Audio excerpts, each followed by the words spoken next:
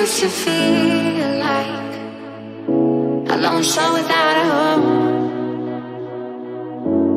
But now I've come to realize